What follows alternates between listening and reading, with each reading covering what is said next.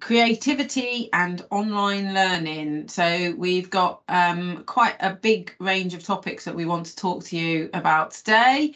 Um, and we will be doing a double act. We think we're rehearsed. Yeah. So we will hand over seamlessly to each other. So this is actually the talk is based on a chapter that we had uh, published recently, which we'll talk about in a moment. But before we get into doing that, just to give us give you an idea of what we've been involved in recently. My background before working in libraries, I was before at the University of Kent at the British Library, and before that in in music copyright. Um, and you would you you've been involved in libraries for all your career, haven't you? Yeah, most of my career I've worked in um, online learning and uh, libraries and the kind of area where they overlap, which copyright is very important. Um, I worked at the London School of Economics for 15 years before I became a lecturer at City.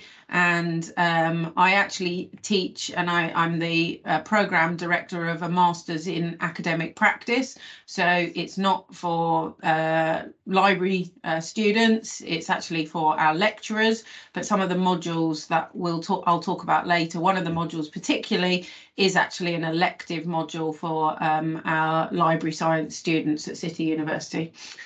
So we talk about copyright literacy, um, and we run the website copyrightliteracy.org.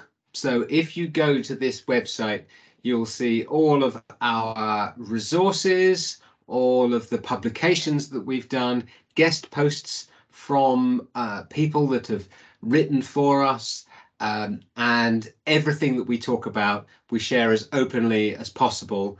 Uh, we are open practitioners, so you'll find that on the website.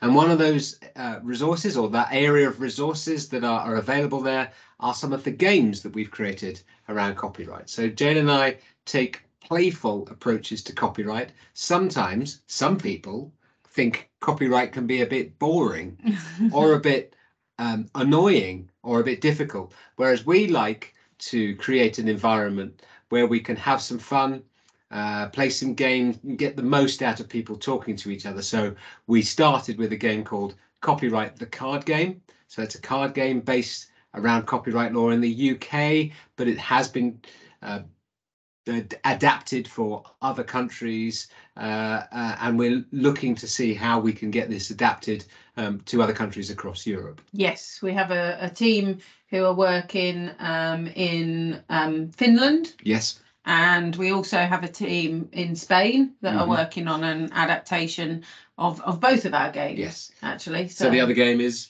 So yeah, the other game is called the Publishing Trap. Um, and this game um, is not based on UK law. It's a game related to scholarly communication and open access. And it's aimed at early career researchers. So it's used quite a lot in universities around the world um, to teach researchers how uh, how copyright and licensing and open access works, particularly um, when they are a um, you know going through their career as a, a- an academic. So it's based on some characters and it's a role play game and it's lots of fun. And we adapted it during the pandemic so it can be played online on Teams or Zoom using breakout rooms, as we did with our other game as well. Yeah. So I've just joined the chat, uh, the the meeting. So I will start to paste links to some of these in the chat. Um, if we have chat, I don't, Actually- don't actually think there is any chat. no, No. okay, we will share all the slides afterwards. You will Yeah, so people can follow the links because they're all on the slides. So the other um, main um, way that we um, look at playful approaches to copyright, we've been facilitating a conference for a few years. Um, so we ha- have created a conference that's called Icepops, and this conference um, is uh, the international copyright literacy event with playful opportunities for practitioners and scholars. So what we've discovered is that there is actually quite a number of other people around the world um, who are interested in teaching about copyright, but also making it fun and engaging. So they have come along to our conference, shared their ideas, um, and uh, we were really fortunate to have that conference just a couple of weeks ago at the University of Oxford. So there we are um, at, at Chris and I on the left um, uh, at the conference in the conference venue. Um, this wasn't the conference venue. This is where we were staying, which is one of the Oxford colleges um, on the morning of the conference. And because we like to have fun with copyright, we had our two little uh, puppet friends who joined us at the conference for the first time and introduced us, didn't they? They did. So yes, but what we've made available are uh, the presentations from um, all our speakers at the conference, and there's a series of photos if you want to find out more about that. Um, probably worth mentioning now. I think Chris is just gonna uh, Cue up the music. We have a podcast, and our podcast is called Copyright Waffle, where we talk to people who are copyright experts or who's who know something about copyright, have an interesting story to tell. So I'm going to play you the theme tune. It's only very short, but here we go.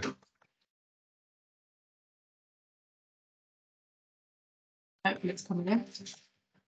It's not even right. We both have to suffice because it's got. All right. So there we go. The uh, clue is in the lyrics. It's not legal advice, but it will have to suffice. Um, and we have a lot of fun talking to people. And the most recent one, which is what this picture you can see there on the right, is a conversation we had with Mark Lewisohn, who is an expert on the Beatles. In fact, the number one expert on the Beatles. I'm a huge Beatles fan.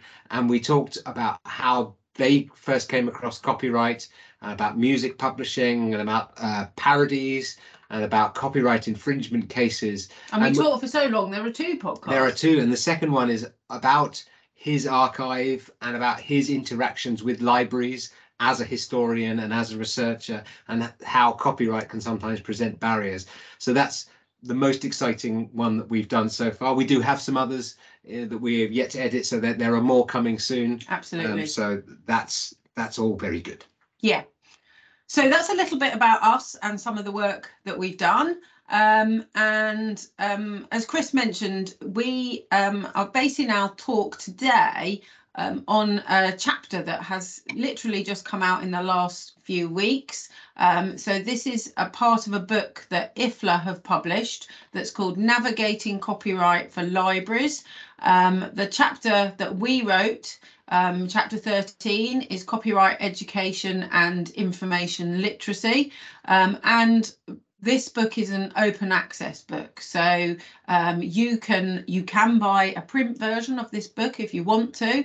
Um, but if you go to the, the DOI that we've given you there, you can actually get access to the full PDF book um, for free. So IFLA have worked really hard to make this available um, uh, in in open access format, and we're really pleased. I'm just in the process of making sure our chapter is available also in our institutional repository, so that um, people can can get access to that through our publications list as well. So we're going to base what we say um, broadly speaking on what we talk about in the chapter, but if you are interested, we would recommend that you um, have a look at the book in general and have a read of our chapter. So all the further reading and the references will be in much more detail in the chapter. So I guess really where we want to just start is how this all came about, our interest in what Chris and I call copyright literacy and also what, as you'll see in a moment, the wider community are starting to see um, as a accepted term as well. So um, around um, 2014, um, I was attending the European Conference of Information Literacy and I attended a presentation uh, by three of the people who are in this photo with me um, from um, uh, various European countries. Um, so we have Tanya Todorova, who is the lead um, uh, uh, sort of instigator of this project, who's from Bulgaria. Um, we have uh, Joumana, who's from France. We have Serap from uh, Turkey. And then we had another colleague um, who uh, is from uh, Croatia. And they collaborated on looking at how much librarians uh, in their countries knew about copyright. They called this a copyright literacy uh, survey, and they were presenting some findings of this. and at that time um, in 2014, they were asking for other European countries to come forward if they wanted to run the survey in their own country. Um, and I approached them, and Chris and I ran the survey in the UK. Um, and what resulted a few years later was this publication, which is uh, the results of a multinational study now covering 14 countries, um, mainly in Europe, but there are a couple of other countries from around the world that um, participated. I think Mexico and the USA as well were part of this. Um, but it's um, enabled comparisons to be drawn between the levels of understanding about copyright um, in different countries and um, how it was seen by information professionals, by librarians, and by people working in the cultural heritage sector. So we became very, very interested in this topic, um, and it sort of has led us down a path that we've continued to work in to, to understand why it is that copyright can be such a challenging um, and but potentially very important area for those of us uh, working in the library and information field and in obviously very closely associated fields in cultural heritage in education more broadly. So one of the first things we did was we looked at what is this term? What does it mean? Yeah, so we we were working with that project, and I think at that time there was perhaps there was a, an assumption that everyone knew what copyright literacy meant, and then subsequently Jane and I came up with the definition that it's about acquiring and demonstrating the appropriate knowledge, skills, and behaviours to enable the ethical creation and use of copyright material. And what what that means is it's not simply about learning facts about copyright law. Mm. It's about seeing how it works in context and helping communities to work out not just what information they need, but what kind of behaviors they want to see and how they can interact with copyright law in order to create uh, new insights, new creative expressions, um, and make use of material that already exists. So what we're going to do very quickly is go through my what copyright is in a nutshell. Yep. Um, that's the term we use here. Uh, so very quickly, number one, copyright is a type of intellectual property right that protects certain types of creative expressions. We call them works, literary, artistic, musical, dramatic, typographical, sound recordings, films and broadcasts. Um, and if it's sufficiently original, then copyright automatically exists whenever something is fixed in some kind of form, such as writing or recording. So there are uh, certain activities which we call in our game usages. So all of these icons come from our card game. Copying, distributing copies to the public, public performance, communication to the public, rental or lending, adaptation, um, or any of the above with an adaptation. So these are the things that in order for you to do those with a copyright work, you have to ensure that your usage is legal. Now, the first way that you can use those works legally is under a license. So it is a legal use with permission. So there are organizations, rights holders, collective bodies, individuals that own rights or have control of copyright, and they can provide permission for specific uses. Um, and that's for electronic library resources or consumer streaming services. Um, uh, all of these things come with licenses associated with them. But the thing that's really important in, in library world is to be aware of legal uses without permission. So our copyright exceptions, things such as quotation or for teaching or for recording broadcasts. And there are a range of them. We, we have icons created from those that are in the United Kingdom's uh, uh, copyright legislation, uh, but they actually exist across all countries around the world. There are some level of copyright exceptions. Um, and whenever you're trying to use copyright material created uh, by others, then there's always a balance between what licenses are available, whether they work for you, whether exceptions are there, and what level of risk comes with using the work when you're not necessarily sure it's covered by a license or an exception. So we go through those in our game. Okay. So we're talking about copyright. Uh, the question is, what is the problem with copyright? Surely that's a system that's that's existed for many hundreds of years. you have rights in it as an author or as a creator. And then if someone wants to use it, they can ask your permission and they can decide whether the terms are acceptable or there's an exception that means that they can use it. And that's quite straightforward because we know what those are. Quotation has existed for many years. Well, one of the issues now is there is clearly a tension with the use of digital technology. I think, as we all know, um, it's a very different world that we have now to when copyright was first um, created. Next slide, please. Oh, sorry. I tell you what, I'll take over the clicking. Uh, so the copyright wars typically seen as between the dinosaurs of publishing and traditional media and the the the robots, the tech giants, the Googles, the Microsoft, the um, social media firms that are making use of copyright protected material and uh, are are not following exactly the the models of copyright um, uh, legislation that were previously laid out, or that not necessarily that they're not following it, but they are challenging that whole idea about exclusive rights and things always coming back to the uh, author uh, or having the author being the person that decides um, giving the permission for their work. And part of the challenge of that is this a lot of this in copyright comes from the concept of the romantic author. Copyright dates back to the Enlightenment period at a time when there were deep philosophical discussions about the implications of information being set down into a form that could be reproduced and had enormous amounts of power associated with it. And why I've got Hegel here and Kant, there was a real split at that time between a tradition from continental Europe that said the creative expression, something that someone creates, is really a part of them, it's part of their personality and their human right. As opposed to a tradition that developed more in in in in Britain and then carried across to eventually the United States that said the purpose of copyright is to increase creative outputs. We want more creative works. And therefore, there's more of a common good. It's less about the individual author getting uh, something back for them. The, the, the thing that is most important is that everybody, the public, benefits from a law that uh, allows some protections, but also some some balance there between exclusive rights.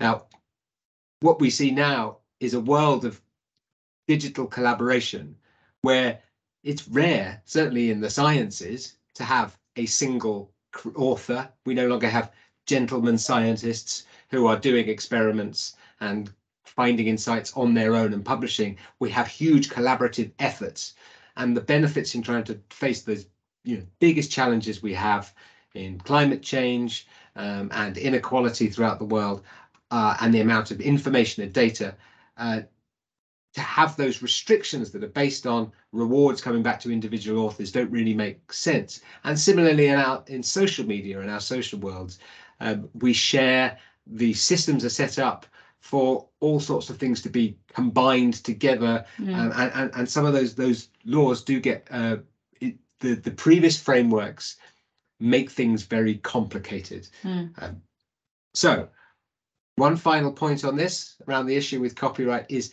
because we have uh, large monopolies powerful organizations controlling the copyright uh, the value that comes from these services often we don't fully understand this concept of the public domain. So this diagram is from Ronan Deazley's book, Professor Ronan Deasley, who wrote Rethinking Copyright in 2006.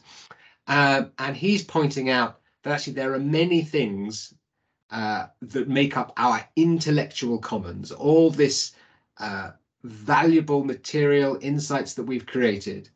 And actually only some of these are protected by copyright there are some things which are not protected by copyright at all because either they are so old the copyright has expired or they are things that are not you could never protect by copyright such as an idea for uh, a particular type of story say a, a genre or a format. Um, and then there are uh, things where there's crossover in those in those areas but that often people think about the public domain as being quite a small thing it's old pictures and old things from books and he's he- I- asking us to think more broadly about what that is. And so we think one of the main challenges about copyright literacy is people think that copyright is bigger and more pervasive than it actually is. So Mm. we need to be clearer on where the boundaries are and what kinds of things copyright does, doesn't protect, and what kind of things it does allow and doesn't allow. So at that moment, we're going to turn around and we're going to ask you a question. We are. Uh, so we should have said this at the outset. We should, and we should also have said we're very happy at this point as well if there are any questions um, from anyone attending online or anybody um, in the room. But the main question we want to just ask you to first of all think about is when you you you knew that you were coming to a session about copyright today. How does it make you feel? What do you think when you think, oh, I'm going to learn about copyright? What sorts of words might come into your head? What sorts of things might you think um, that you know it, it's going to be like? Is would anybody like to would anybody like to tell us? I'm not sure if there's anyone in the room that wants to say anything to uh, Christina or or somebody.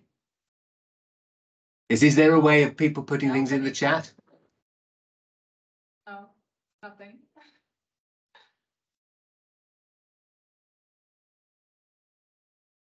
There's no. I don't think there is a chat, is Yeah, there? there's, you don't. Yeah, I- I'm sorry, I think you cannot see it. Uh, Ah. there are no answers to it. Okay, Oh, we okay. encourage you. Ah, To say- okay, uh, there is an answer. Jan said that he finds it confusing. Right. confusing. Okay. Okay. It Yeah. may have been that we've slightly primed you with this picture. Oh, Um, shall oh, we, let's, sorry. let- let's, Oh, let's oh, go back. sorry, There we go. sorry. I think there might be some others. Anyone else in the room like to say so they feel confused as well? Anyone feel excited? I don't think so. No. Okay, we we Uh, will. is there, is there one more answer in the chat? Ah, Yep. okay. Martin says, I think it's abused by corporates on social platforms. And Dalibor says, so my first association was that it's part of law and we might face legal paragraphs learning about it. Yeah, yeah, yeah. Would So that's- that she thinks it should be updated. Okay, yeah. Okay. Yeah, so that's that's that's quite common, particularly that first response we got about confused. Yes. Quite a lot of people find copyright annoying as well. I think that's and frustrating and potentially something that might be a barrier. Shall we see Yes, let's some have a look. answers that we got from previous previous people we've asked this to? In fact, what we did at this conference is we asked people to write it down on a piece of paper and then turn it into a paper air- aeroplane and throw it to the front. So we were in a very so large lecture theatre. Imagine that you're doing that now. You're you're folding up a piece of paper and you're letting go of your emotions. All of these, we're getting flooded with people's thoughts. But so what? What did they say to us? Well, these are the kinds of things that some librarians have told us. Someone said that the copyright made them feel warm and fuzzy. Hmm, we think that was a strange person though. That was that was us. But this is more common, isn't it? Worried, anxious. Yep. And we have frustrated and confused, and whether they can worried about risk. Yep. Uh, we had a, a comment from somebody once, which we liked a lot, didn't we? That they said um, it was like uh, being a receiver and thrower of a hot potato. So I don't know if you have this metaphor in Czech, but in in English, if something is a hot potato, you you don't want to hold it because it's so hot. So Have you want to. Have you got the hot potato? I have got the hot potato. Where it's is it? down there somewhere. Let me see if I there. can find it. It's just in that basket. In that basket down here. Yes. Okay. So we have a baked potato here. Right. There's the potato. You're going to throw it to me. There we are. So I'll throw it back to you. Devon's- There we go. Oh. oh, too hot. Yeah. Right. Okay. That's enough of that.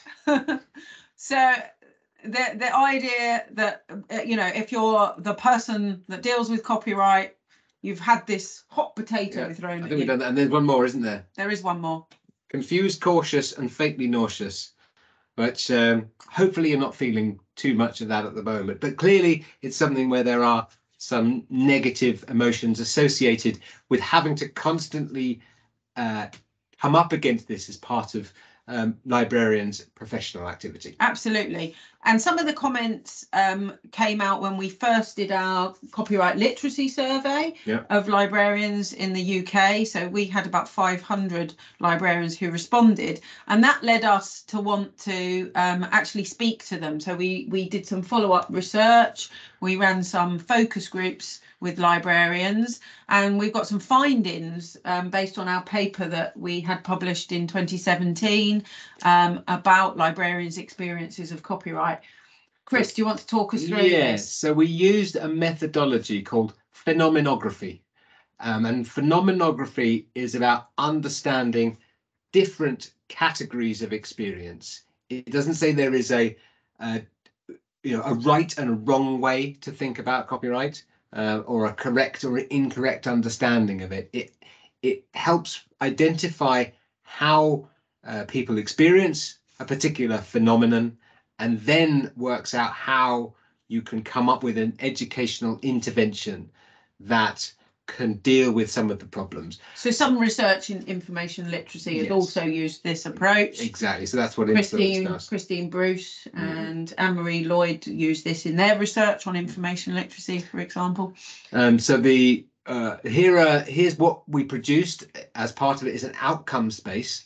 So it's a diagram that shows these categories in a visual way that explains their relationship. So the first category is that copyright is experienced quite often simply as a problem, something that is problematic and stops good stuff from happening. Mm, And we put that, as you can see at the bottom, that sort of underpins everything Everything. else. The second category is that it's complicated and shifting. So it's difficult to understand. And even when you've got your head round it, you think you've understood it, you find that some elements of it are changing Mm. because there's new, uh, New laws, laws, uh, European directives. uh, new new law cases that come and change the interpretation of the law, and there's new um, licenses and policies that, that mean that you have to think about it differently. So it shifts, uh, which means people tend to want to avoid it often if they, unless they absolutely have to. Mm. Now, the third category is about realizing that it can be a known entity. It is something uh, that can be reduced to a set of coherent messages, things that do make sense. We can put it into our processes and our procedures and our guidelines to give people an idea. Um, so that's a way of feeling more in control of it. But what we also see is that there's this, or found from talking to our interviewees, is that it's an opportunity for negotiation, collaboration, and co-construction of understanding. So what we're talking about here is things that aren't clear. Often people say, oh, it's unclear, I don't know the answer. It's not clear from looking at the law. It's not clear from looking at a particular policy or set of guidelines. And we say, well, here is where a li- for example, a librarian could be talking to a group of researchers to work out whether it is acceptable to share the underlying data that has copyright things within it, or sharing uh, collections with users of a library service where we are not 100% sure who the copyright holder is or that the copyright is clear. But these cases we can work through the detail and sometimes it involves, often involves taking a risk. Mm. But what we think is there's a gap between those other experiences and that Particularly one. where it's about rules Yeah, so is and it, wh- whether things are black and white Mm. and clear cut. yeah. And the thing with copyright, I think, is that it often isn't, is it? No. So what we often say to people is really understanding copyright, really working with it in the most effective way means becoming comfortable with uncertainty. Mm. And that's where we're trying to bridge that gap between the certainty of being in a sort of category three coherent messaging space and the other one, which is we find it quite exciting, but I think without sufficient support, clearly it's very difficult and challenging and can be very worried, worrying if people think, well, they might make a decision and then There might be a legal a legal consequence. yeah. Yeah, yeah. So that's based on some of our research, and we mentioned um, the idea that our research was drawing on um, a methodology used sometimes in information literacy research.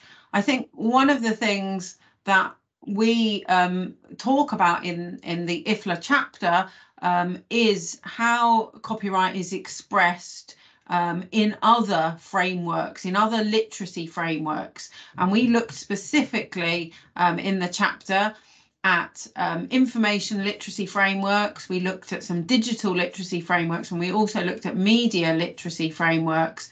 Um, and really what we see is that, um, you know, this, this idea of treating understanding copyright in this broader category of literacies is really quite helpful. You can't often um, use information and media without wanting to know whether you can or can't share that information and how you can um, actually use it and turn it into something new. So kind of copyright in many ways underpins or it overlaps with many of these other literacies. Now, one of the areas that we think is really important to start thinking about is thinking about copyright in a, a, a, way that is a more critical way. So critical literacies are where we start to think about power structures, we start to think about um, who, you know, who controls whether it's information or knowledge or media and why they do that. And actually, when it comes to copyright, what you have to remember is that the laws were created by people, they are shaped by organizations, and there is an element of, of copyright, you know, that is um, as as Chris has said, very contested, and it doesn't always have to stay like that. As technology and as society changes, then what we would hope we see is that copyright changes and reflects that as well. So we think applying some of this kind of critical mindset when we think about um, copyright as a librarian can actually be very helpful rather than seeing our role as being a kind of gatekeeper and somebody who's just there to tell people you know, well, I've got to explain to you this is what the law says. It's more about helping people understand um, why the law might say what it does, um, but also the importance of um, the, the the copyright exceptions that exist that are, are the legal uses of material without permission. And when you know when you might be able to extend that definition when there might be a public good if you're thinking about um, your collections and making those widely available and digitizing them. So we we think this this kind of literacy approach is really really helpful um, I have done a lot of work and I chair the UK's information literacy group. Um, and I think this idea of trying to empower people, I, I, I really um, sort of uh, have always um, supported and, and liked the view that information literacy um, is something that's that's helping to empower people um, to use information to achieve whatever it is they want, whether it's personal, social, occupational, or educational goals. And the idea um, that that actually being information literate and knowing, um, you know, uh, being able to find and use and effectively, um, you know, uh, create new knowledge is is is a human right as well. So the the Alexandria Proclamation, I think, is very relevant here um, when we're thinking about, you know, the role that copyright also plays here. So, you know, sometimes we see these things potentially in tension that copyright's telling people it's locking information down and saying they can't do things. Whereas on the face of it, many of us as librarians want to help people find the information they need and, and be able to use that in their life. Um, what we have done as well, and we we talk about this um, a bit more in um, in an earlier chapter that we we had published, but then we we've described it in the IFLA chapter as well. Is is put out a model and a way of teaching about copyright that we've called our critical copyright literacy framework. Um, that rather than just sort of explaining to people how the law works. You actually start a bit with the history and the philosophy of copyright and what the different schools of thought around the world um, say about why copyright laws were created. Um, that then we start to think about this idea of, of balance in the law. So this is where you would think about um, you know copyright exceptions and and you know how how how much scope copyright law has to to protect works. obviously licensing is very, very important increasingly um, in a digital world. Licenses are dictating what a lot of people can and can't do with con content. So how that relates to copyright is very important but also um, many of the things, as I said, many activities that people want to do with information, with digital objects, with all sorts of things involves um, copyright because they don't just want to keep them for themselves. They want to share them with other people. They want to communicate about them. Um, and so that that is a really important part, we think, of this a critical approach to copyright literacy. And then obviously finally, and somebody mentioned this, you know, well, what are the legal implications? So understanding the consequences, you know, what what what are the consequences of, of you know, copyright infringement, as we might call it? What are the risks? Um, and when are those risks actually quite small? And when are those risks, you know, increased? And, and thinking about it in that way. So we um, we wrote about this in in um, a, a, chapter, um, as I say, uh, and we also one of the things had said earlier in our work is that this critical approach to copyright does actually mean that you acknowledge that there are contradictions and there are tensions. I think sometimes when you've got to teach people about copyright, that's why it feels quite uncomfortable because sometimes you tell them things and you think, that doesn't quite make sense or that doesn't quite fit with the sort of behaviors that that we see um, so it is about raising awareness of the flaws in copyright law and potentially being a champion um, for copyright reform and for social justice. So librarians often, and when they um, attend things like the World Intellectual Property Organization, um, IFLA and other library organisations often go very much with that that idea that they're looking to push the boundaries of copyright and to reform and to to you know to to to basically stop copyright becoming um, a barrier to to much of our work. Okay. So what we're going to finish up with is some examples of where we've put this into practice. Um, so I I now work at the University of Oxford, but up until April of this year, I was working at the University of Kent. Uh, and I was there for nearly 10 years. And, and, towards the end of that time, I actually developed a copyright literacy strategy, which covered the whole of the organization. Um, I made a case that it would be useful for and helpful for everyone who worked and studied at the university um, to have support from the whole institution. So if we look at what our vision was, it's that by 2025, people working and studying at the University of Kent will feel confident in making informed decisions about using copyright material and will understand the role copyright plays in innovation and creation of new knowledge, and that the university's approach to copyright education uh, will support its strategic objectives by informing policy and practice. Uh, so it was saying copyright is important. It's not simply something that there is a clear set of rules about that everyone needs to understand.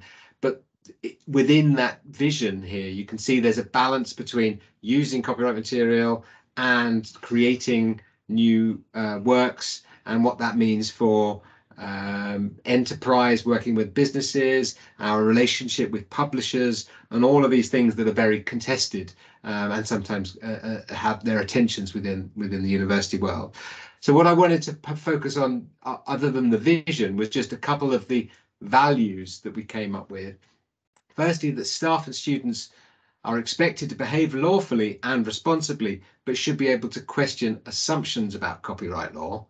Um, and the other one that a balance is required between the concept of copyright as private property and the importance of communication and dissemination of knowledge. So here are some here are some things again where it's often open to discussion.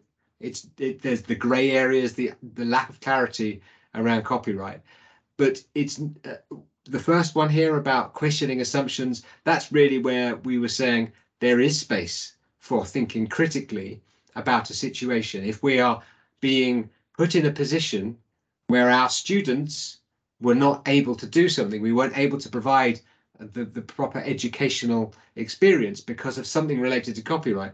Well, we should question assumptions. There's no way we can do this activity because copyright says we can't. We use this. We use this during the pandemic when we were locked down and we had all those questions around is it okay to make this material available? For example content on dvds films not available to the library but we had them in dvds what should we do? So we made a decision um, about whether we would digitize those and we're able to question previous assumptions.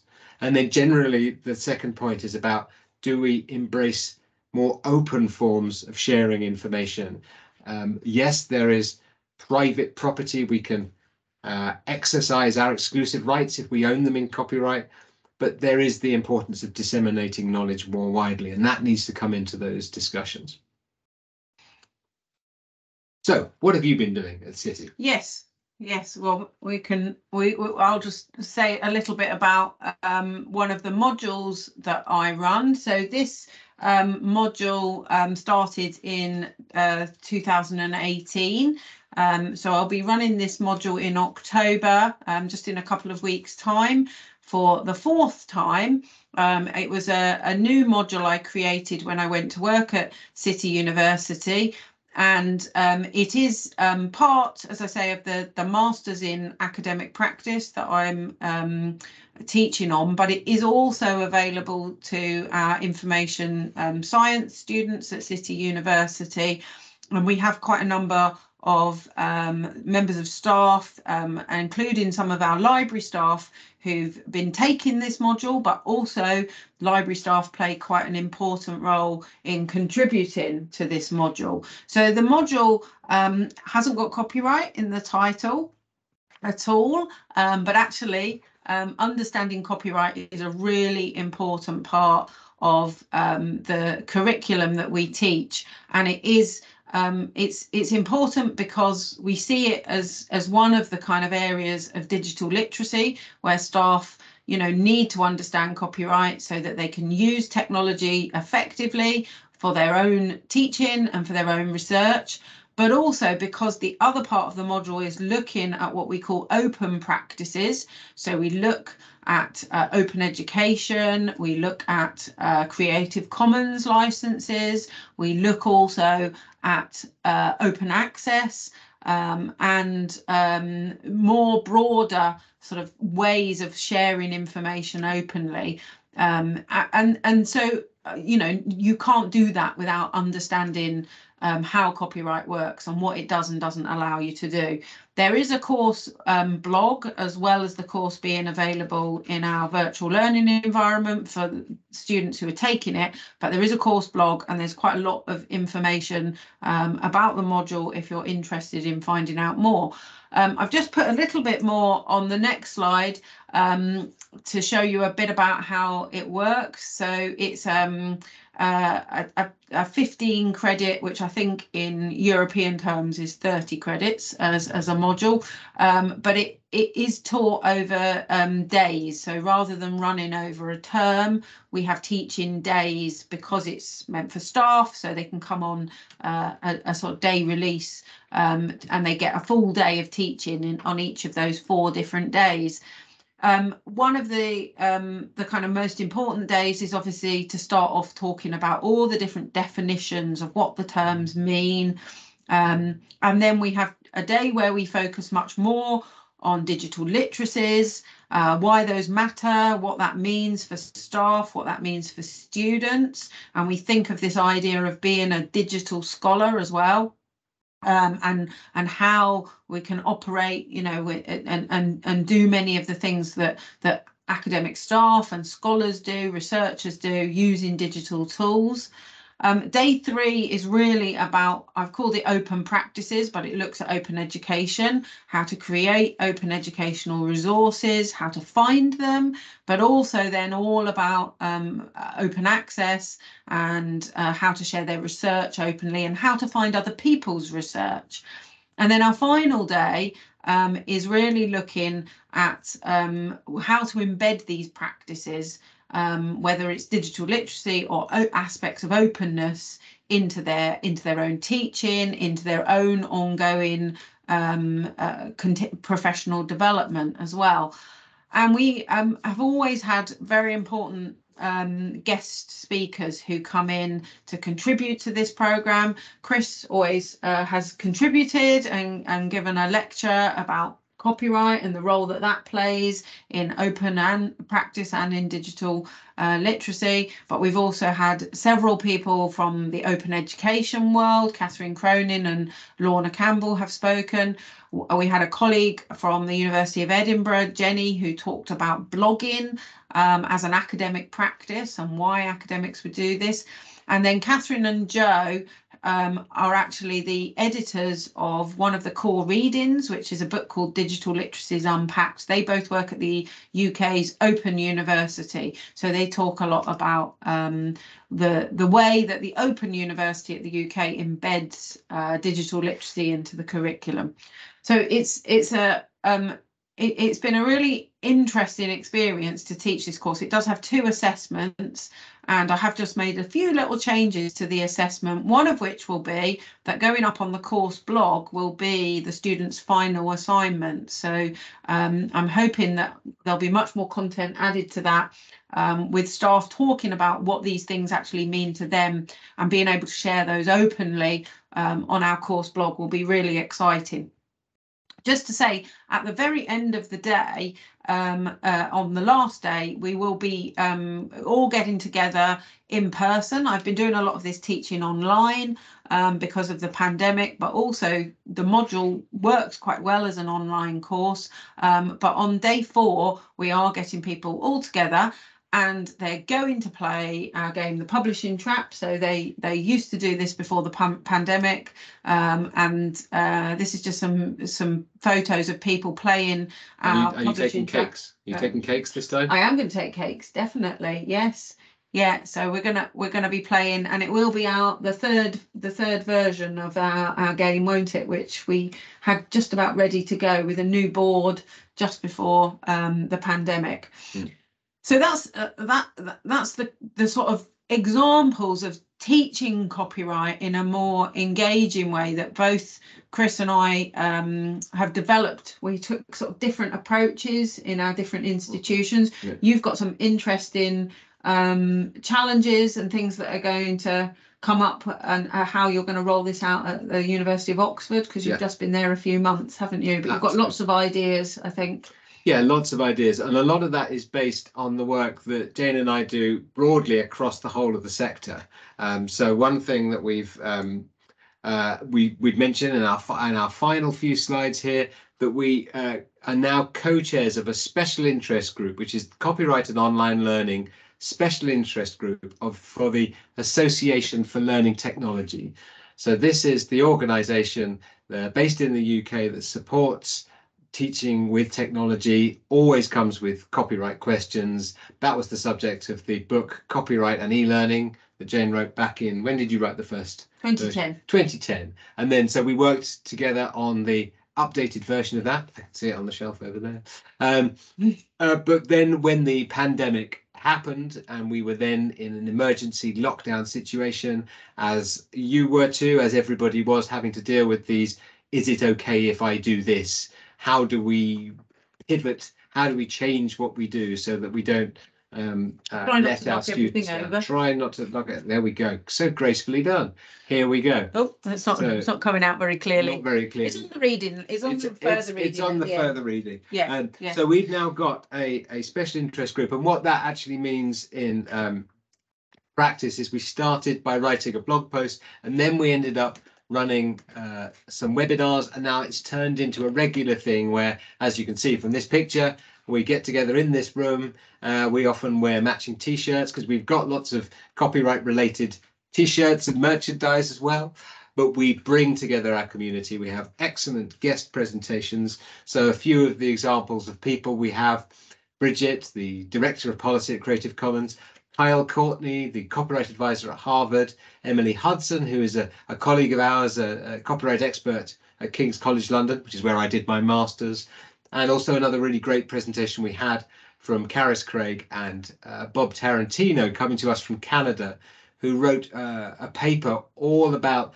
the challenges and the problems that copyright caused in people sharing culturally during a time when they were forced to use online uh, platforms, and the online platforms have a tab- habit of taking down copyright material. We were joined by people from a range of organisations, and it's just become some part of of what we do now. Um, so here we try to keep all that spirit of trying to think uh, creatively about how to address copyright challenges and, and discuss these things um, and come together and give each other support and something that can sometimes make people feel quite, as we said, negative emotions. Mm, And those of us who do deal with copyright can sometimes feel quite isolated mm. because it's not often a topic that people want to talk to them about at, at length. I was just going to go back because if you go to the the the link afterwards, Mm. um, what you'll be able to see. So all our webinars are open webinars that are free to attend, um, and you'll be able to see the upcoming schedule. You'll also be able to go and have a look um, at previous recordings if there's any topics that you're interested in. If you wanted to see the presentation from uh, Bridget at Creative Commons, for example, we have these all on a YouTube channel as well, so that you can um, you can tune in and you can uh, catch up afterwards.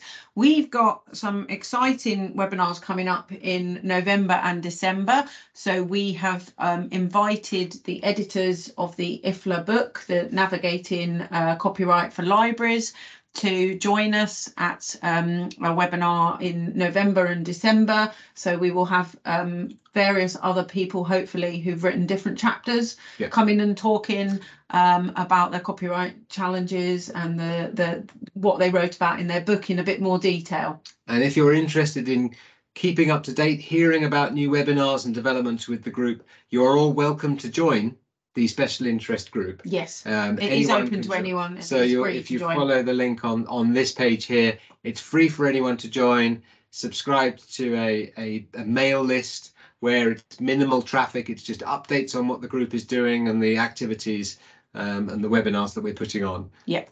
And we do have a Twitter account for that group, don't we, as well? Yeah. Yeah. And on the 16th of December, we're having a Christmas special. So if you fancy getting copyright and Christmas together, playing, taking part in a quiz, having some fun, you're very welcome to join us. So that's that's the sorts of things you can do if you're interested um, in keeping in touch with us. Um, so, um, but what we thought we would do is um, we've got some time to take questions from the floor, um, but we've also got some questions that we would like to ask um, you in the room as well. And uh, we've we can we can kind of take a little break if you want to have a think about any of these answers to the questions. We know um, that some of you who are joining remotely, you can perhaps put anything in the um, uh, the chat. If we maybe start at the first question um, about what aspects of um, your library work that you're doing or that you think you'll do in the future might involve copyright issues. I think that's quite an interesting question um, to open up. Has anybody had any experiences to date where they've been asked questions about copyright, when they've been working in a library? Are there any areas that they think, you know, I'll go into in the future, lead to them needing to learn a bit about copyright? So, what about that first question? Is there anyone who would like to um, comment on that or put something in the chat? Anyone in the room feeling brave?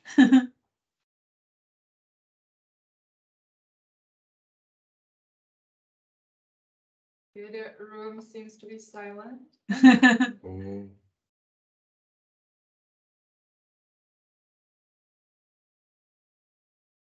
We're happy to take any questions or Yeah. anything or receive any comments here. We just thought these might be a useful way of starting that conversation. Yeah, yeah, so we can open it up for any other questions as well.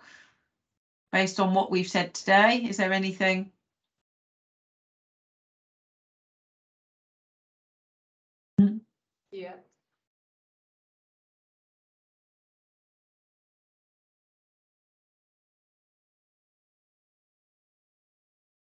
Okay, I think we can probably uh move on because it doesn't seem that um anyone has any ideas around that way. Okay, Uh, okay, there is one, there is one. there is one. Okay. Uh, It's, it's actually more question for you than an answer.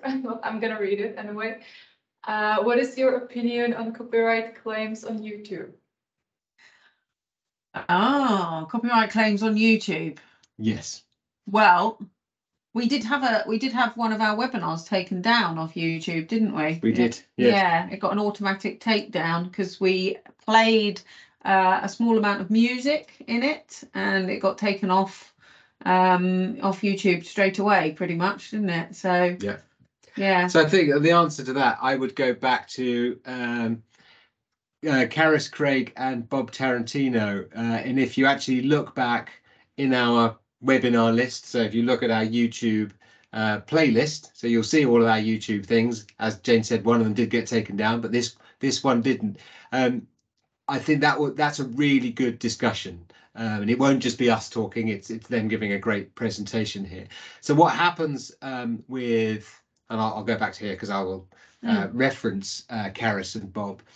Uh, the copyright system works in a certain way that uh, there is um, an opportunity for copyright holders to challenge someone else's use of their work.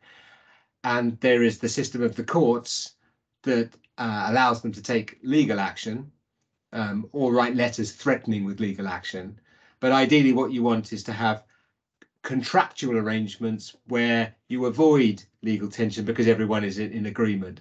But the way that the YouTube works is it has this notice and takedown or uh, mechanism. There is uh, a automatic um, process that's triggered where music or other content matches something that's on the database. So it's called Content ID. And it doesn't actually follow the rules of copyright law. No. It follows the policy that YouTube have created, which does call on you know, the United States copyright law, the Digital Millennium Copyright Act, that has something called safe harbor.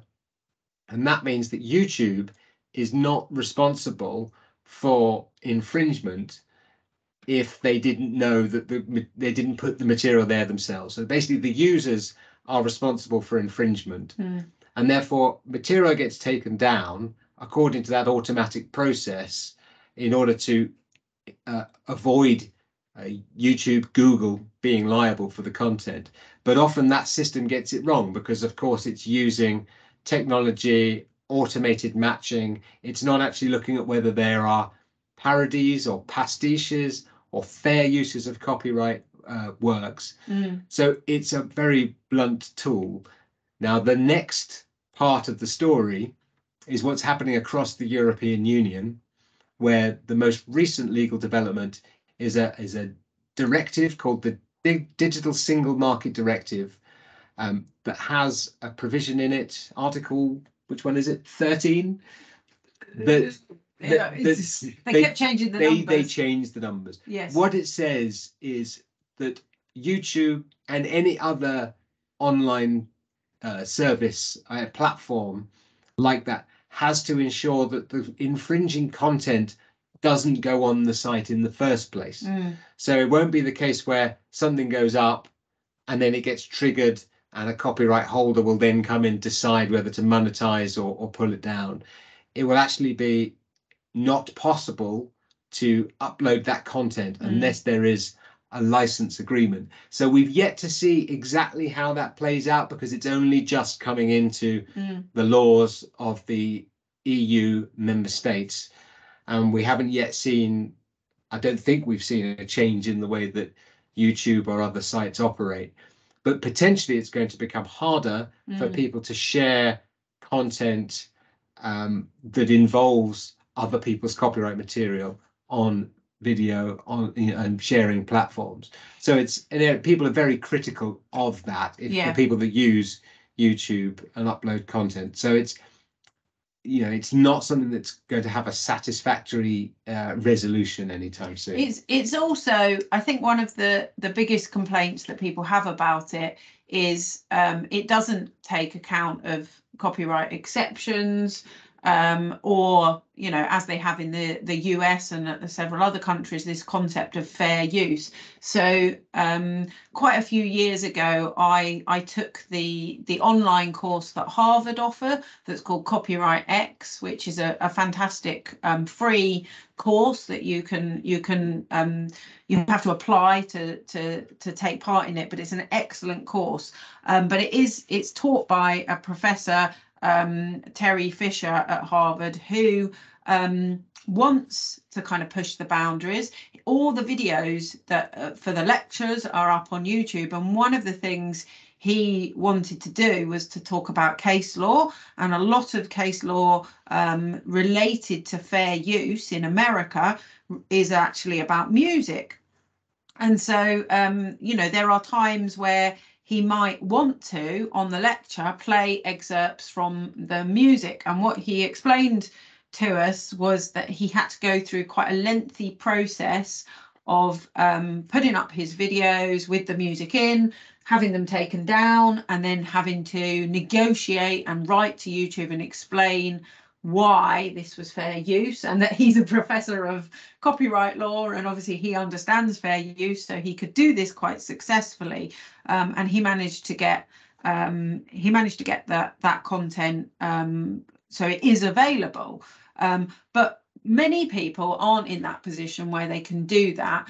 And you know while you can see that YouTube are trying to stop copyright infringement um, and people you know putting up, you know, sort of illegal or pirated versions of things. One of the problems is, as Chris says, it's a very blunt instrument. And we had an experience with one of your former colleagues at the University of Kent, who's a, a history uh, lecturer, but he is also, he, he took to being a musician with his family during the lockdown. They made lots of videos which were parodies of songs and um, they ran into problems as well where and we have we actually have a, a podcast where we interview him. He's he's called dr ben marsh and he talks you know he really he just hadn't realized that he was going to get so involved in copyright just through making what he thought were sort of fun parody versions of songs and sharing those on the internet. And obviously you know copyright does now affect more and more people who who may want to do things where you know they have a legitimate reason for wanting to do that whether they're teaching or whether they're they're doing it for another reason. So really good question. Um, and yeah i think you know it's it's definitely something we need to we need to watch because increasingly copyright will be regulated by platforms who may end up behaving very cautiously and and stopping a lot of content that that you know is is actually very creative. So in that time did that lead did anyone else ask any questions? Let's just go back to our questions that we had. Yes, but I think that we can probably go back where we were and answer the questions later when you finish your Okay. part of the presentation. Yeah, that's fine. We can do that. Yeah, yeah, we are we are almost at the end, I think.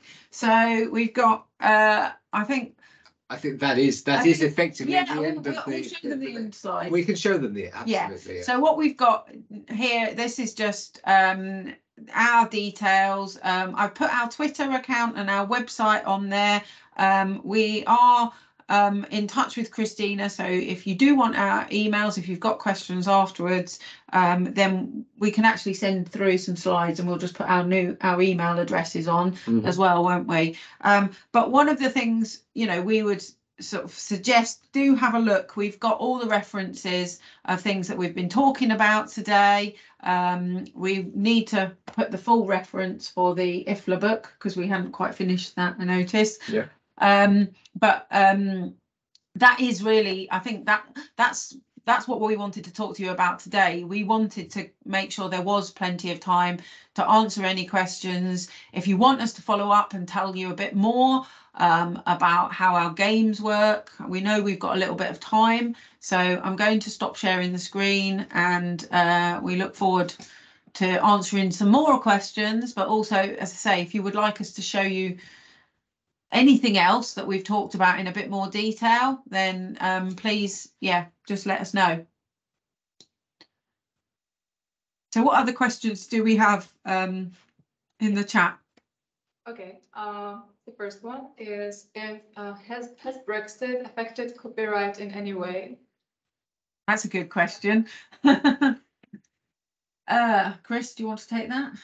I was going to say, Yes, I, I, I'm, I'm happy to take that. So Yeah. we, we've, we're now in a situation where in the UK, our law is still to a very large part based on recent judgments that come from the Court of Justice of the European Union.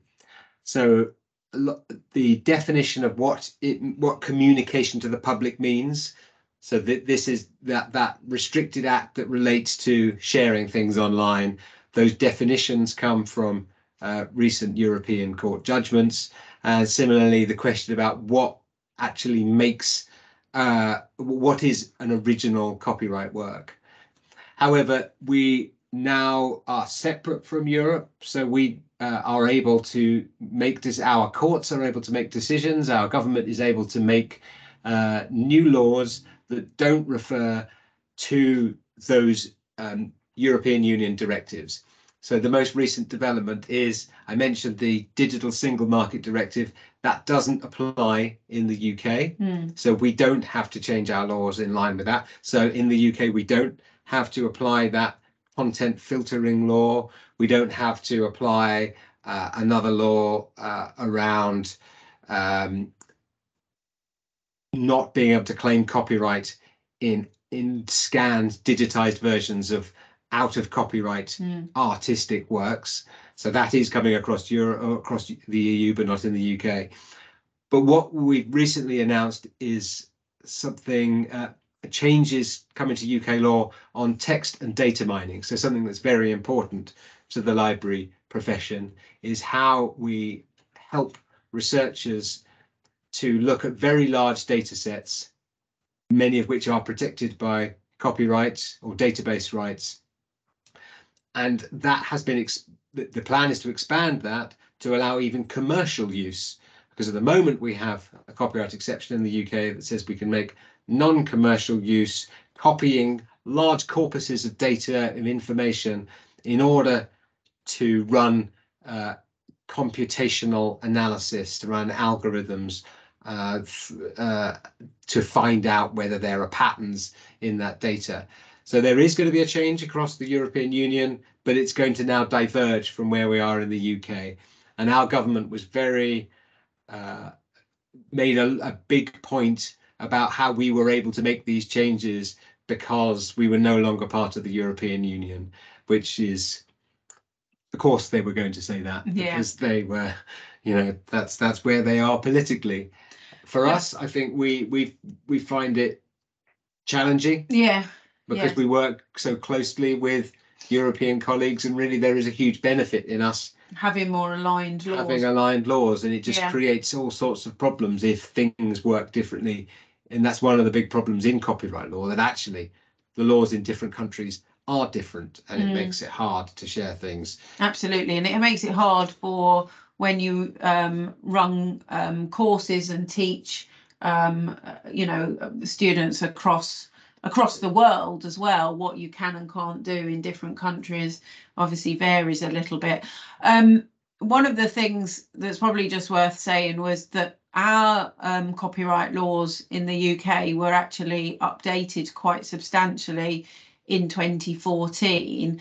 Um, so we've, I think, with all the many changes that have been going on in in UK government, um, and obviously with Brexit, one of the things that we've seen is that changing our copyright laws soon is not going to be a priority because I think there was such a big piece of work done. Um, and while 2014 is actually now eight years ago, it is it's still in you know in in in terms of copyright, our laws are kind of generally changed about every 30 years it seems or so. So we we we last had substantial changes to the copyright act in 1988 um, and so the 2014 changes were meant to bring in lots of things to make copyright fit for the digital age. Um, and um, some of the things that came in in the UK in 2014 were actually quite ahead of their time. So text and data mining Mm. was something we've had in our law since since then, isn't it? And also we've got um, a widened exception for um, uh, teaching. So if you are teaching, we have an exception in UK law that we've had, which was broadened in 2014, which proved actually to be quite helpful to rely on during the pandemic. Yeah. So I, I don't think at the moment we will see many changes, but obviously potentially we we we can now diverge. But there is one thing that, that was a big change, which was around orphan works. Mm, So we had, uh, we were able to take advantage of European regulations where if libraries or cultural institutions or educational institutions uh, were trying to digitize and make available works in their collection where they didn't know who the copyright holder was or they weren't able to secure the copyright uh, permissions from them. Uh, those are termed as orphan works. And there was a, a scheme where we could do some searching and then register these works with the European Intellectual Mm. Property Office. Um, and at the moment of Brexit, that no longer was available to us. So um, when I was at Kent, we made a few works available on that basis, and that we were we were protected or we had a, a defence against an accusation of copyright infringement, and then that fell away. So that was a real shame. that we- yeah, it was it was a it was a problem. We're now back to where we were before, which is having to rely on risk management and mm. taking that risk on ourselves. So good question though. Very good Yes. question. Great answer, thank you. Uh, there are actually two questions related to uh, future of copyright in the age of artificial intelligence. More specific, if you think that AI and machine learning algorithm, al- algorithms deserve copyright on their own. What do you think about that? Well, that that was actually also part of the government consultation that was done at the start of the year, wasn't it? It was about artificial intelligence and and copyright and whether works created through artificial intelligence, you know, should should they qualify for copyright protection and who should own who should own them as well, whether it's the the person that writes the algorithm or the company that creates the AI. Um, it's it's um, uh, it's certainly an area of a huge interest. Some of it might be quite philosophical as well. Of It gets quite hard to to to to to think these things through because the example what we're looking at now and what's happening is changing everything so quickly and where we're going to be in five years time is going to be very different Mm, the UK government decided not to change the law around who owns copyright in a computer generated work. yeah, They agreed that the the um, it's already work in our law. it's already it? in there, although it is defined in a way that may not actually cover a lot of these artificial intelligence examples. But it's basically the person or the organization that creates the software that then owns the copyright in the subsequent work that's created.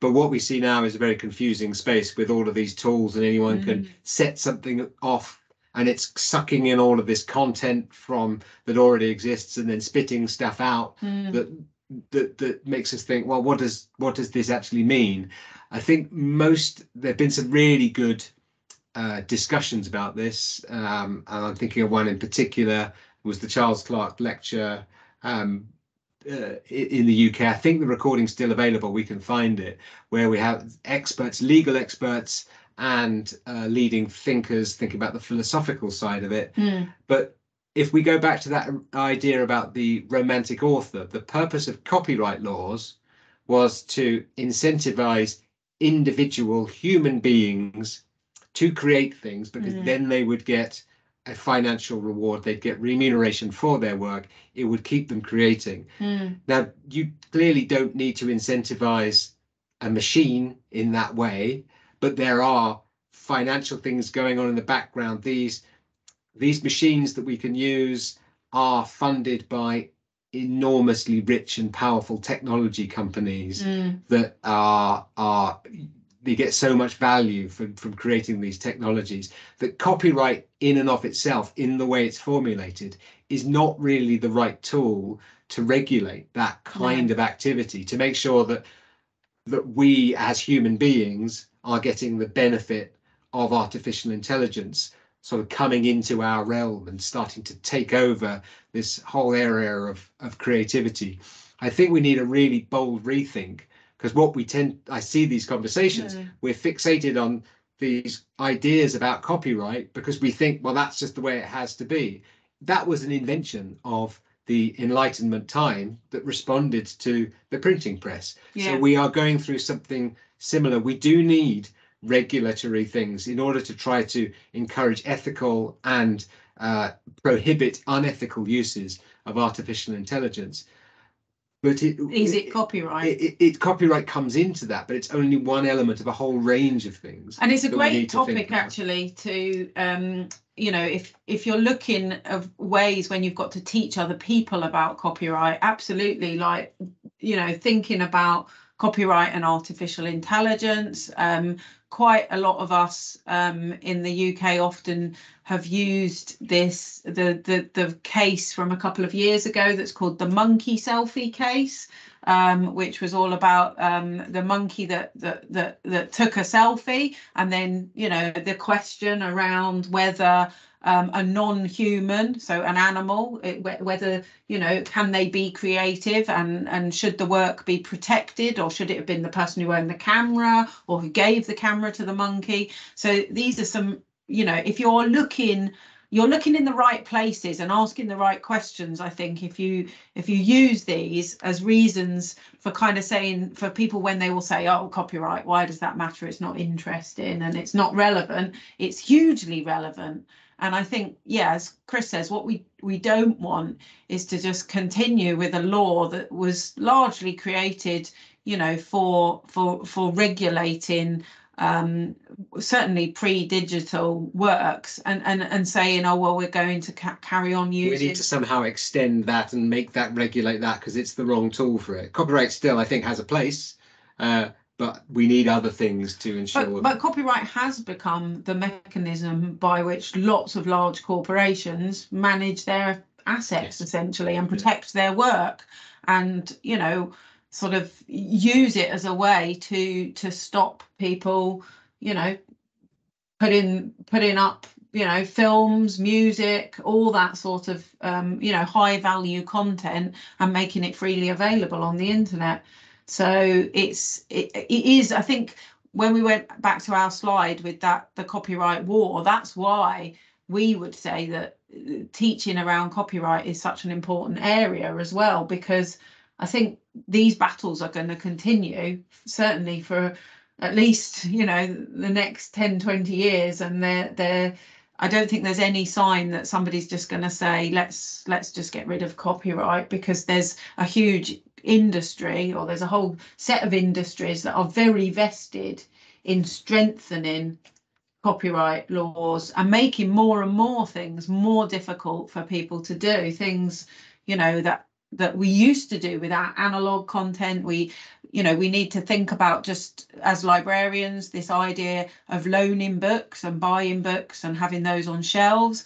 And some of the we haven't really talked about this but some of the challenges of e-lending you know because much of it is being regulated now by publishers who want to sell us licenses and want to stop libraries doing kind of what they've always done which is putting things on shelves and loaning them out to people. And they can do that when when it's all electronic in the same way you know that that you know what you do with your digital music can be much more closely regulated than when you had it there on the shelf. So yeah. More questions. Big questions those ones yeah. It was a little depressing. A chcete se někdo na něco zeptat? Okay, uh, seems there are no questions in the Okay. room yet.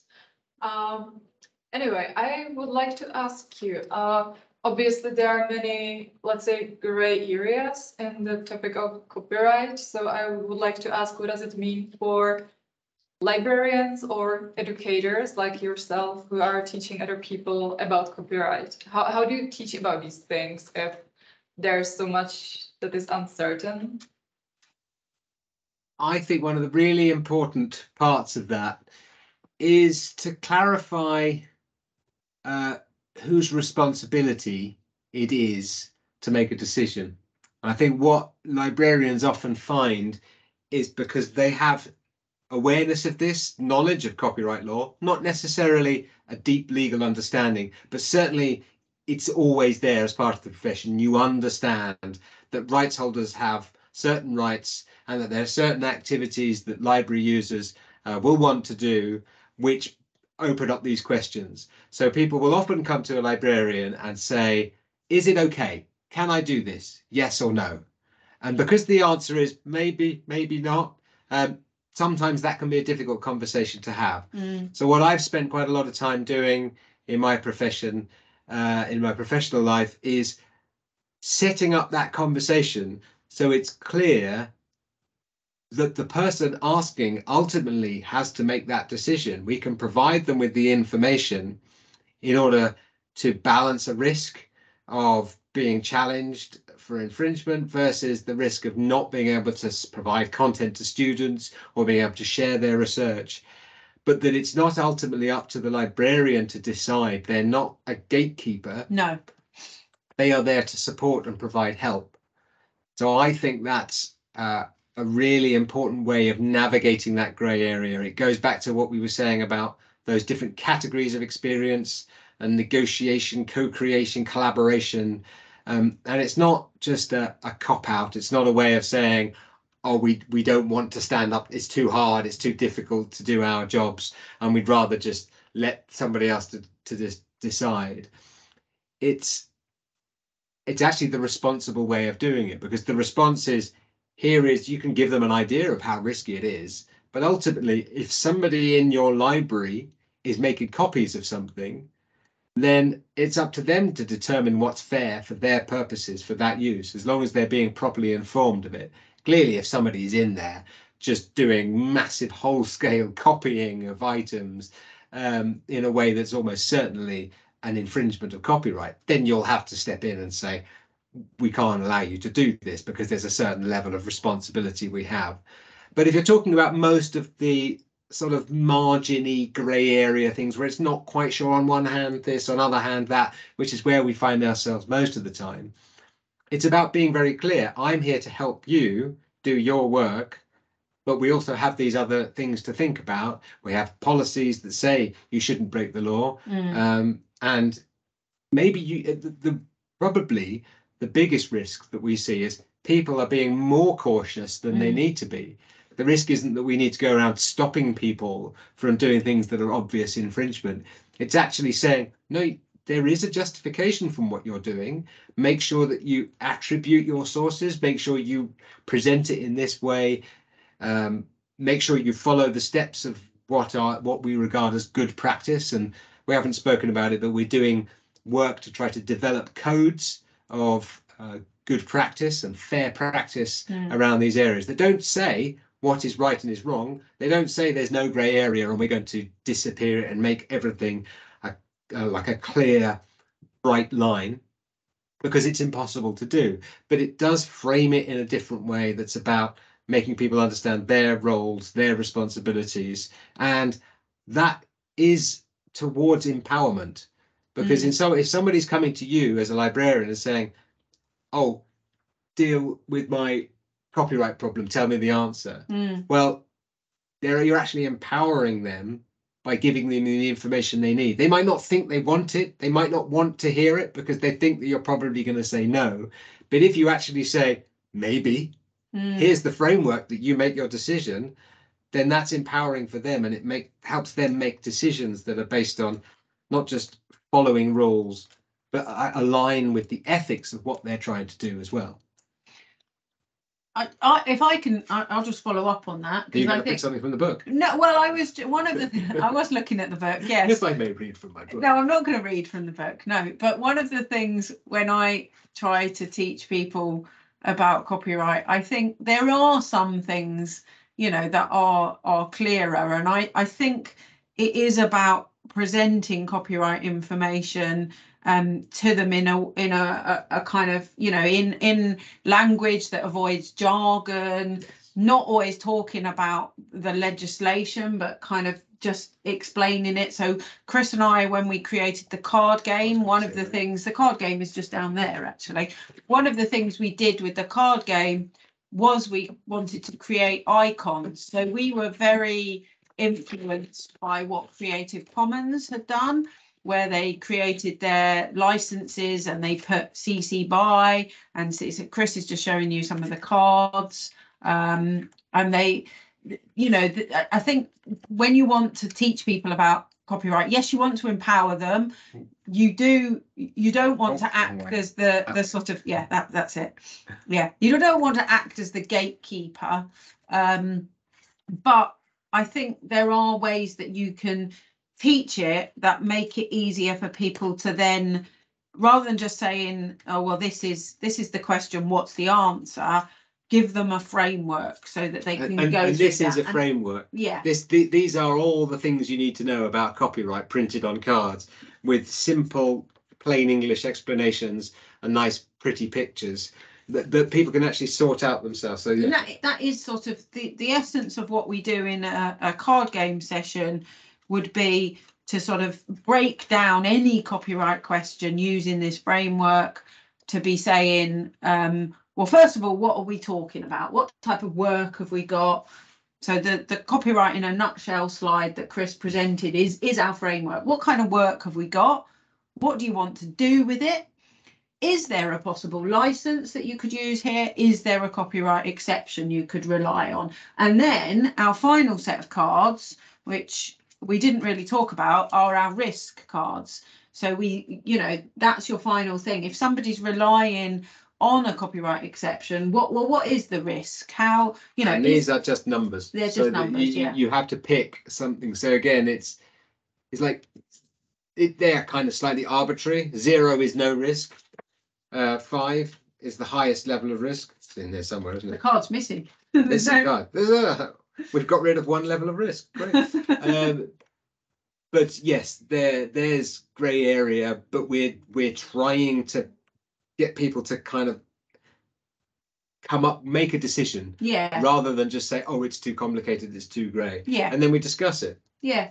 And and that's the other thing we do a lot in our teaching Sure. is we There it is. oh there's number five, yes. we we we we we use scenarios. So you would you would take a scenario, so you've got a lecturer and they've got the book copyright and e-learning and they want to make available one chapter from this book to students. They want to put it online and you give the group that scenario. How do you think they can do it? Use the cards. What what type of work is it? What do they want to do with it? Is there a license? Is there a copyright exception? And and actually by every time we teach, we if we were teaching lecturers or teachers, we would use examples of things that they want to do. If we're teaching librarians, we use real examples of things that librarians we know do. You know, they they've got a special collection, they've got lots of photographs that maybe date from the 1950s so they potentially are still in copyright but they don't know who owns them and they think they were taken you know by somebody who worked at their organization but they're not sure. So what could they do? And and and actually discussing those kinds of scenarios in a teaching session is really helpful because you know what we get people to see is there isn't just one answer as well. You know there there's there's different things and different organizations might take different approaches or you come up with more questions that you would ask. Well you know what are the photos of and what sort of information have you got about them and what type of organization are you and you know all sorts of things like that. So it's kind of using lots and lots of examples and you know making it clear to people um you know that that it is it is it is not always clear cut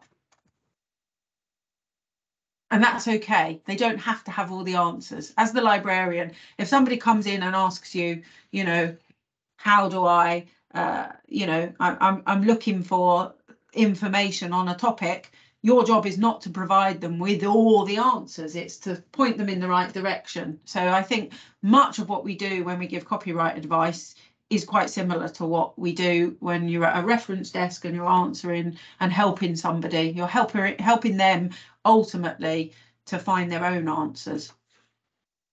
Does that answer that question? Yep, thank you. Uh, there's actually one more question from the chat, so I'll read it for you. Uh, it's a little bit personal question. Oh, What is your, what's your idea on copyright that only a few people in your circle would agree with you on? Oh, well, each of us. So what's What the people in our circle would agree with us. on. yeah, yeah. What's it? What have you got any ideas about copyright that you think only a few people would agree?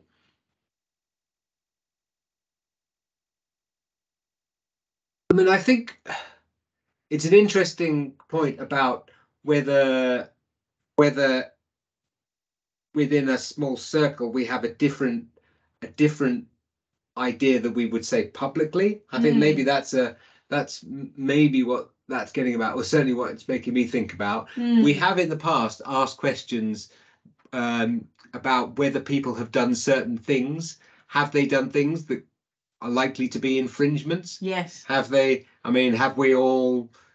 Yeah, have we downloaded something off the internet that maybe we shouldn't have done, Or um, shared things. or shared things? I mean, I think what we what we increasingly what we've tried to do is not have a a separation between what we would do in our normal lives and then what we would say publicly. So we talk about the fact that um, you know people do infringe copyright all the time. Yeah. The copyright law is set up in a way that means it's impossible not to infringe, and we like to try to push the boundaries, and we like to we create parodies and we do things um, like that. So from that perspective, I'd say there's not really much that we would do within a smaller group that we wouldn't share publicly. No, but I think I suppose one thing as well is that the more you get to know about copyright, maybe it makes you less risk averse. Yeah, we have thought, talked about category five, haven't we? Yeah, we have. So we came up with those four categories, and sometimes we wonder, well, maybe there is this category five type person. Are we in this one where, you know, we love it, we deal with it all the time, and perhaps, perhaps we benefit from that confusion. I think to a certain extent we do, don't we? Benefit from the fact that it's confusing yeah. and that it's something that can't be resolved because there's a fundamental tension in here. So people come and ask us, can you come in and help us and explain all of this stuff so that it will be clear? And we come in and we say, well, it's not very clear. That's the way it is. So are we are we benefiting from it? It- you know, is copyright just a great big mess that we just circle around forever and ever and ever? Um, I don't I don't think it is really. I mean, I think that's No. some something that we sometimes talk about. Sometimes That's probably that's probably us sharing. we are we are we are also we're having a webinar about open textbooks and one of the things that we have discussed endlessly for the last three years is this book so this book is published by a traditional publisher Yes. and one of the things I particularly, I would say, I'm a very strong advocate saying open textbooks, this is the way to go. We need to make them open. Um, but it's really difficult actually. So we, you know, we were we were really fortunate with that IFLA book that they, I think they had funding to make it available as an open access book.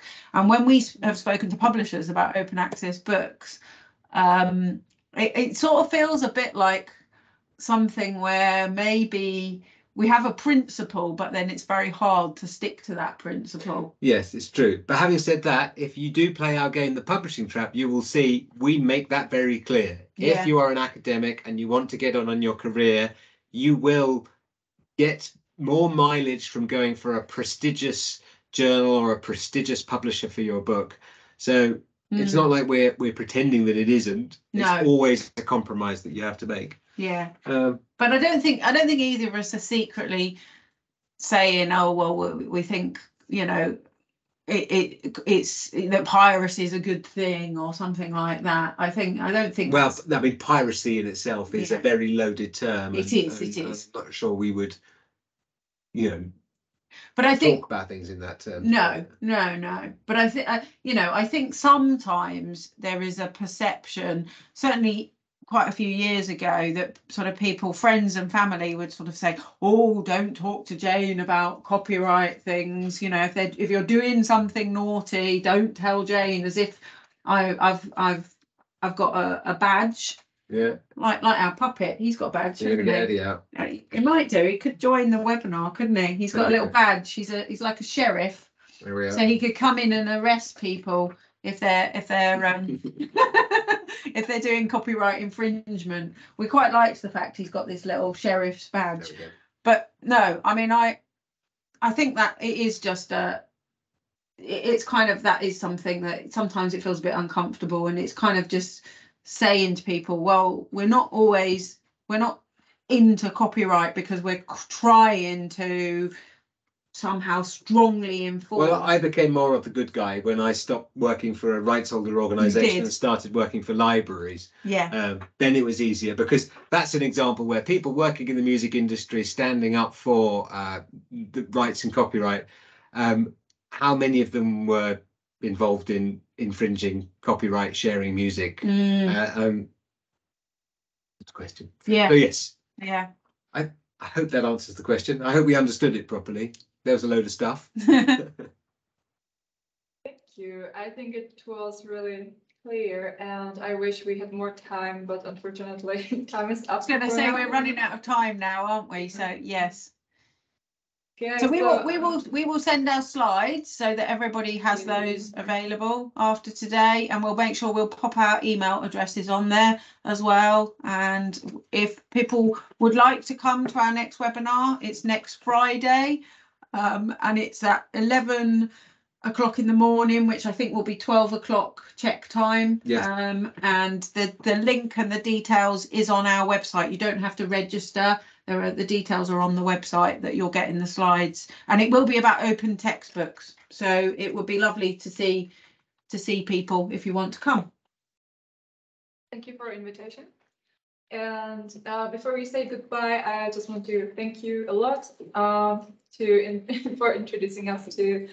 Uh, actually, I think it's great that you took this topic, which made people confused and nauseous, and just uh, somehow uh, transform it into this great community of excited people and cakes and stuff. thank you for that. Um, so thank you again for the lecture and um, yeah, see you soon, I guess.